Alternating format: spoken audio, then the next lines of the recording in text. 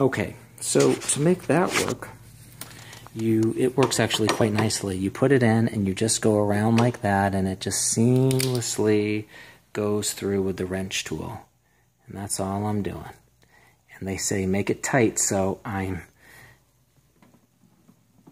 making it tight. Great. And I'll do the same thing with the other one. The key thing here to remember is it does take a little bit of finagling to get this piece to initially thread. But once you get it in, it, it, it, it's pretty seamless. And remember, this is the farther pedal based on the way I have it set up. And, oh, came out. So let me try it again. Be back. Okay, sorry about that. I got it this time. And remember, clockwise. So you go and you're going to tie it tight. And you're going to do it clockwise. So, my sincerest apologies.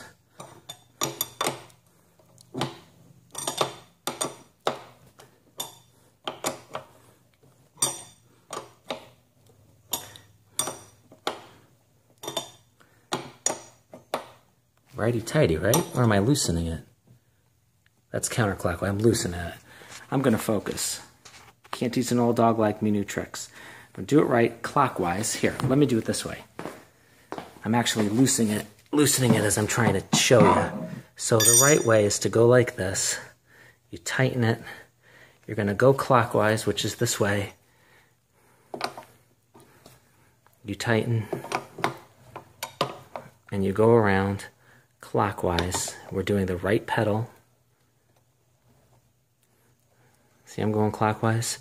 And there you go. And you tighten it. And it is going to be really tight. I'll be back. So we did it. So the pedals are on nice and tight. Everything looks really great. And we're good. Now, for step five, which I've already done because I guess I'm impetuous, but it says install the battery into the display and there's a door, and everyone knows how to do this, but there's a door on the back of the display. It snaps in and out. The latch is at the top. Pry the top of the door open.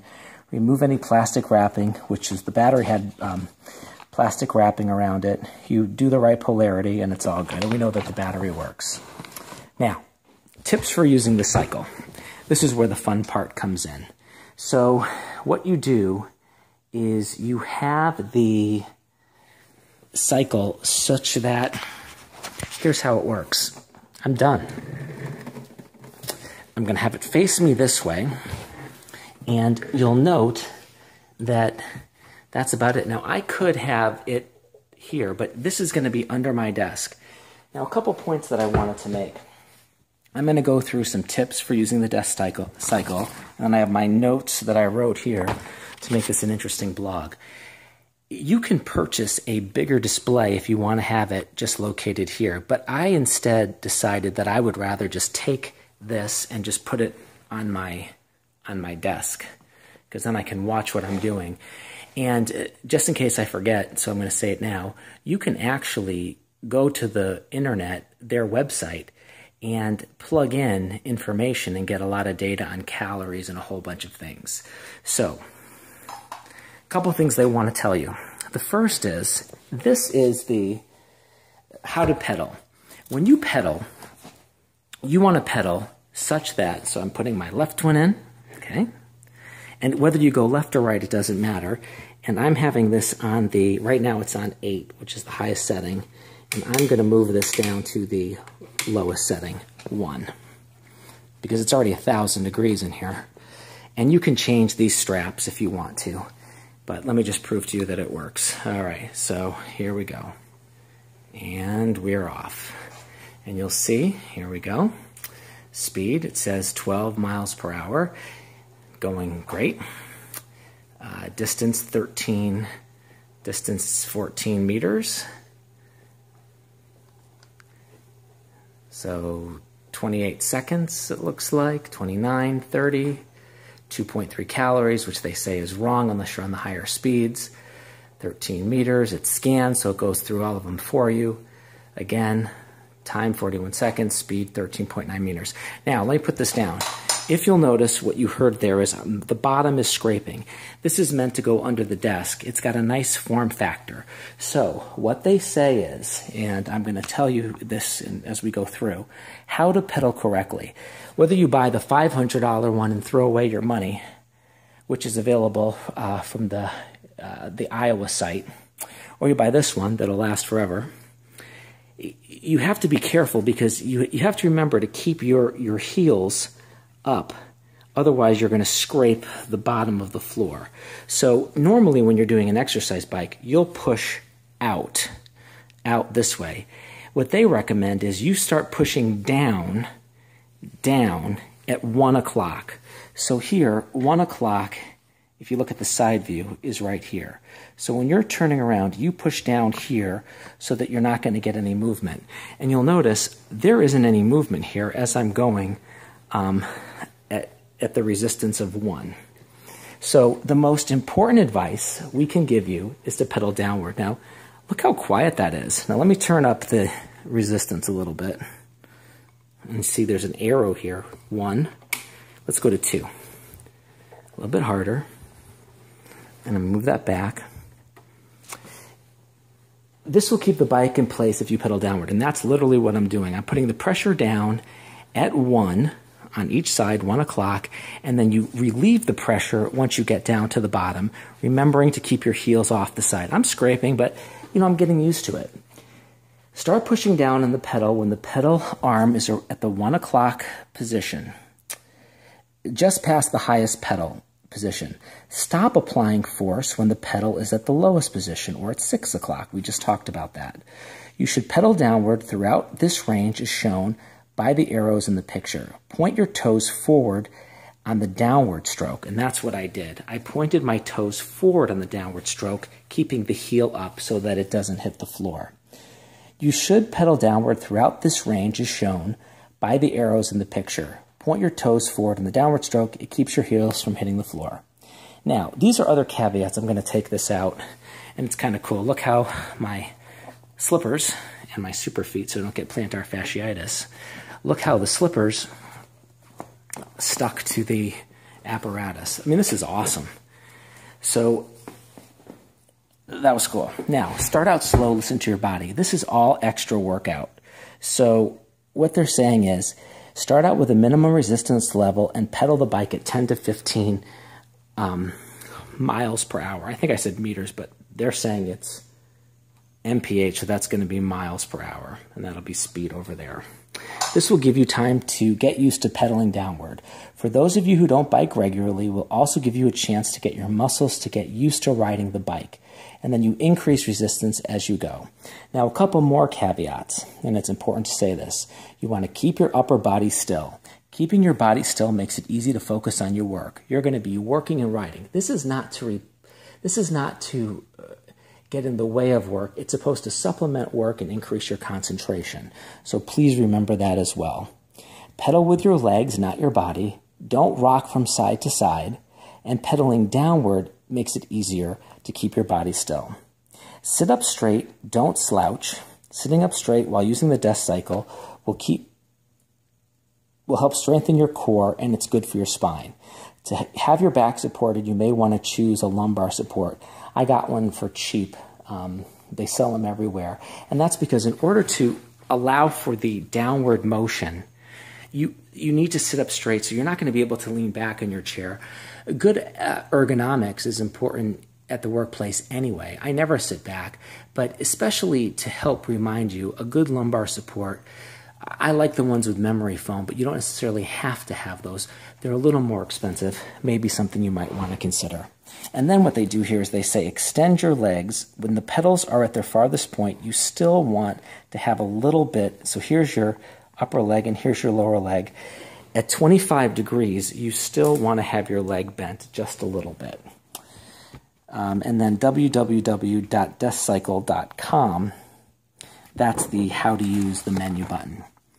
If your knees hit your desk, uh, what I did was I got rid of the keyboard from under it, but they say you can do a couple things like lower your chair. This can lower your knees by several inches, or you can point your toes upward on the upward pedal stroke, a whole bunch of things that you can do. And this is also available at your um, site. Now, while typing, they say that you want to keep the resistance low if you want to type and get work done. And they say keep the setting at three or less for most people and be comfortable. I completely agree with this. Yes, you can go up to eight if you want to. Three is here. Keep it real, my friends. Keep it real. Where can you use the bike? At your desk, on the couch, or in a comfortable chair.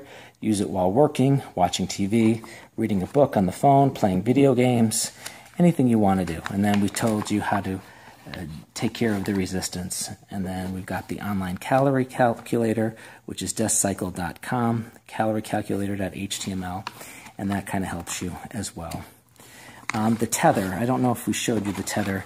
We'll do the tether here. So that's if you have a situation where you have a wood floor and you have roller chair, and I have that too. So here's your tether. So what you do is you take out the Velcro, and it just it's just basically a Velcro strap, and you're going to strap it under here.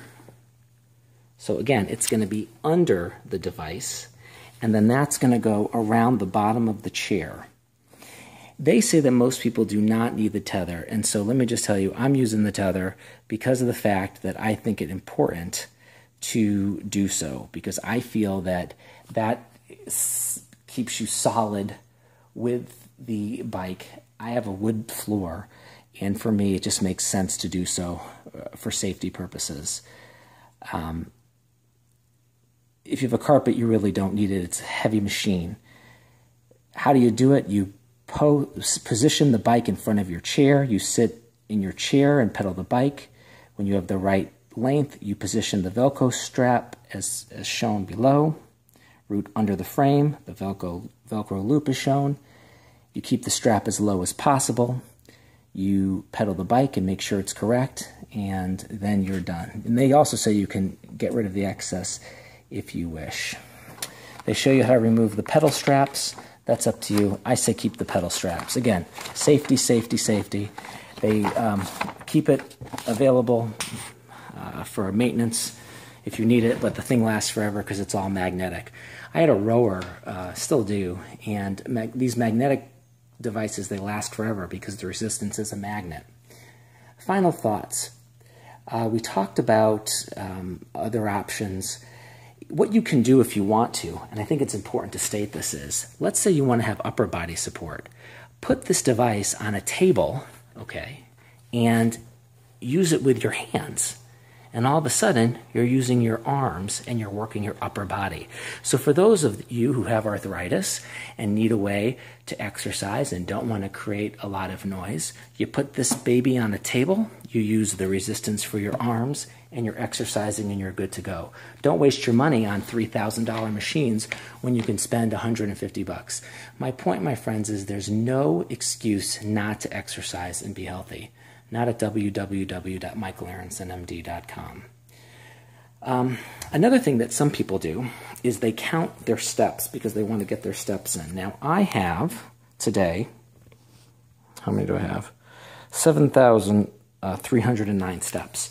If you want to, you can put your pedometer on your shoe and you will get credit for steps. That will work. I'm suggesting you don't do it. This is low intensity. Walking is low intensity, but this should be above and beyond. If you want to include it, feel free. This is your deal, your body, your health. Put the pedometer on there and count it as steps. I try to do my 10,000 in addition to this, and this is all added bonus. So that I wanted to discuss. And then the final thing is, please consider viewing my Fitbit um, uh, I think it's CSX pedometer blog. Oh, I can just tell you right now, I'm wearing it. CSX, which is a $2250 pedometer. For the cost of a $140 Fitbit, you can get this. So maybe get this and get a $22 pedometer and consider value and use your money accordingly with respect to value. And we'll go from there. I hope you enjoyed this. It was a long um, Periscope podcast, but I think very, very well worth it. Here's the final product. Enjoy it. Okay, so to make that work, you it works actually quite nicely. You put it in and you just go around like that and it just seamlessly goes through with the wrench tool. And that's all I'm doing. And they say make it tight, so I'm making it tight. Great. And I'll do the same thing with the other one. The key thing here to remember is it does take a little bit of finagling to get this piece to initially thread. But once you get it in, it, it, it, it's pretty seamless. And remember, this is the farther pedal based on the way I have it set up. And, oh, came out. So let me try it again. Be back. Okay, sorry about that. I got it this time. And remember, clockwise. So you go and you're going to tie it tight and you're going to do it clockwise. So, my sincerest apologies.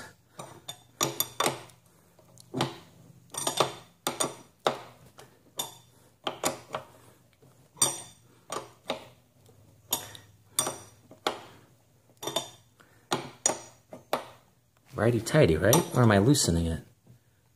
That's counterclockwise. I'm loosening it. I'm going to focus. Can't teach an old dog like me new tricks. But do it right clockwise. Here, let me do it this way. I'm actually loosening it